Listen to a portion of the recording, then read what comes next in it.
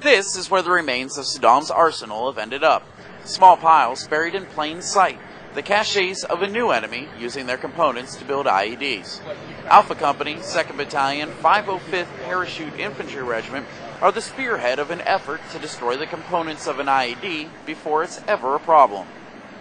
Acting on the tip of a local informant, Alpha Company found a suspected weapons cache here in this field just behind me. The only thing showing was a very small hole possibly caused by rain runoff and the back end of an artillery shell. In all, Alpha Company and EOD discovered only four 57mm anti-aircraft rounds, a small yet important find.